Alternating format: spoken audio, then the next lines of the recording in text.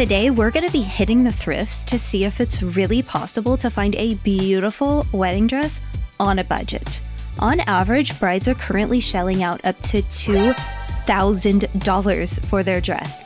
I'm going to show you eight dresses that I thrifted for an average cost of just $39 per piece.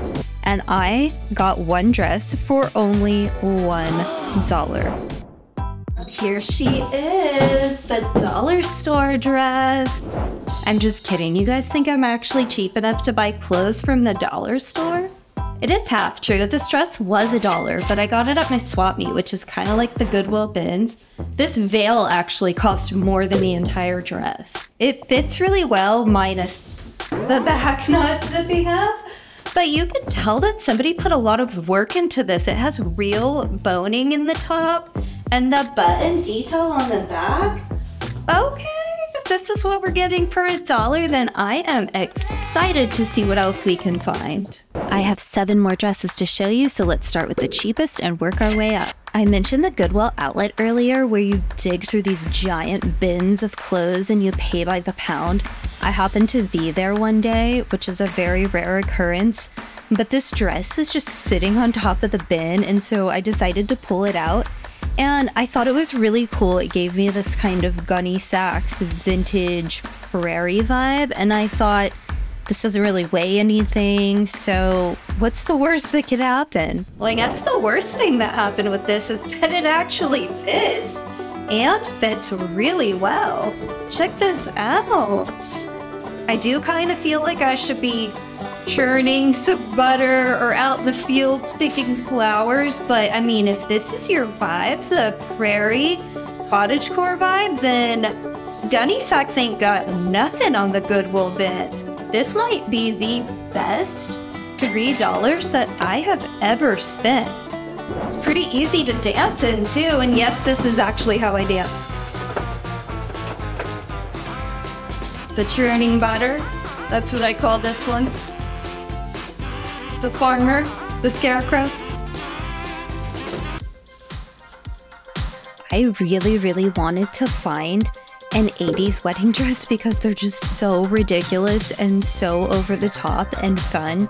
And I was born in the 80s, and when I was little, I was completely obsessed with the wedding dress from November Rain.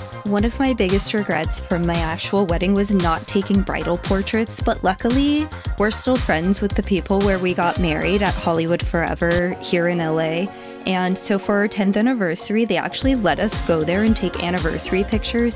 And I ended up thrifting a dress that was really similar, well, my version of the November Rain wedding dress, but I digress. I found an 80s wedding dress for this for $10, and the beading on it is just like this crazy Vegas curtain lampshade, and I'm really excited to try this on. Oh my god, is this actually better than the November rain dress? Hang on, hang on, I have an idea.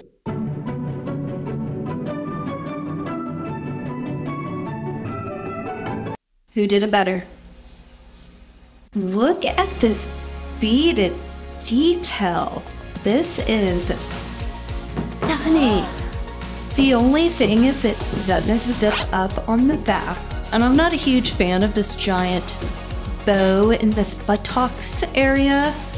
I do manage to keep stuffing on the train, but I think in a real wedding I would have somebody kind of fluffing it for me. Are there fluffers at weddings?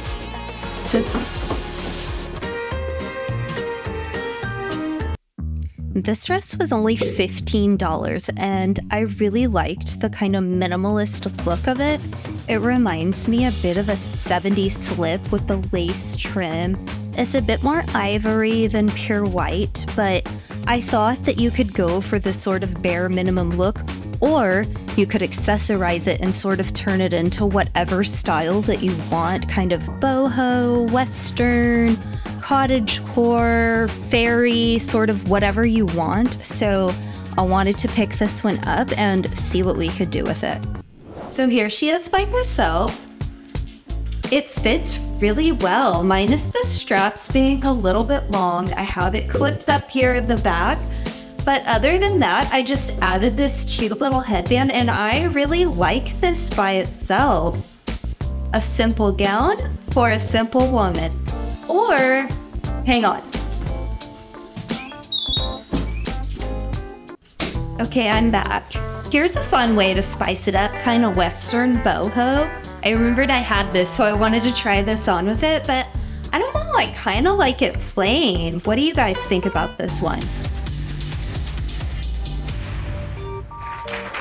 I'm not usually one for the big, poofy ball gowns, the Cinderella style, but I saw this from across the store, and when I went over to look at it, I really liked all the little details on it with the beading and the kind of silver hearts, and so, you know what?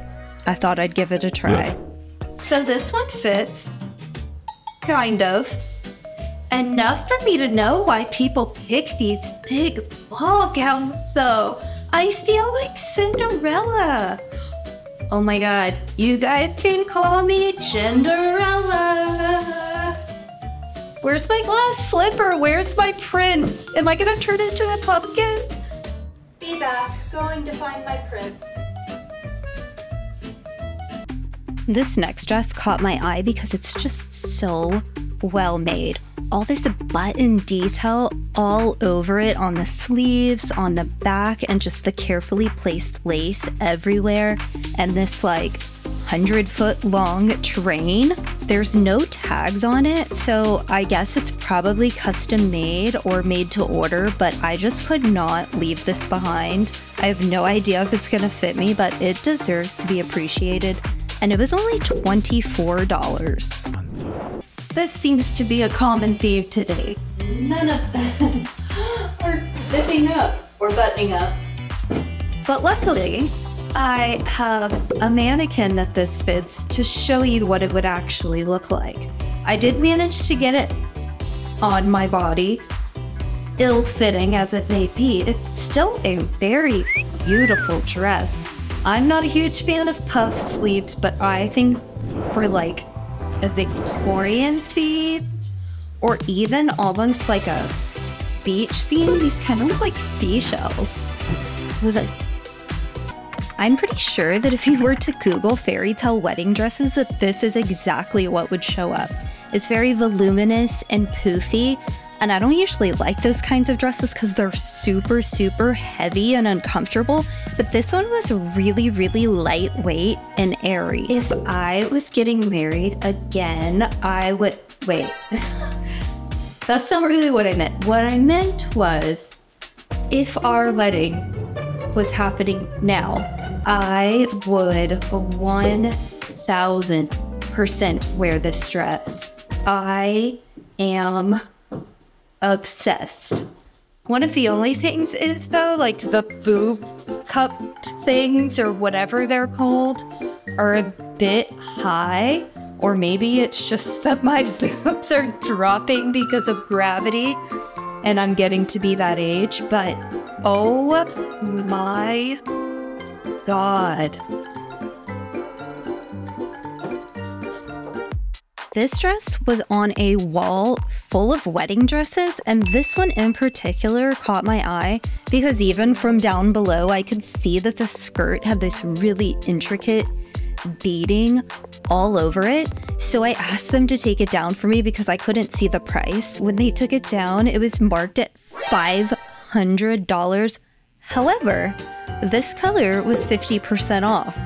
So I did a little Googling and I was able to find it because it was new with tags. I found the original designer.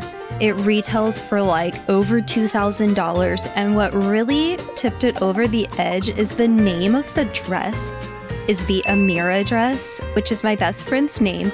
And I was on the phone with her when I walked in the store. So I took that as a sign. Here you go. What the? I feel like a princess, which is coincidentally what Amira actually needs. So I see what you did there. That's very clever. Check out the beaded detail all over the bodice and on the train. I also forgot to mention that I was able to talk them down to only $200, no tax. So I got this dress for like a tenth of the retail price. I definitely think it's safe to say that you can thrift a beautiful wedding dress on a budget. If you like this type of content, I picked out a few more I think you might like. I'll see you next time.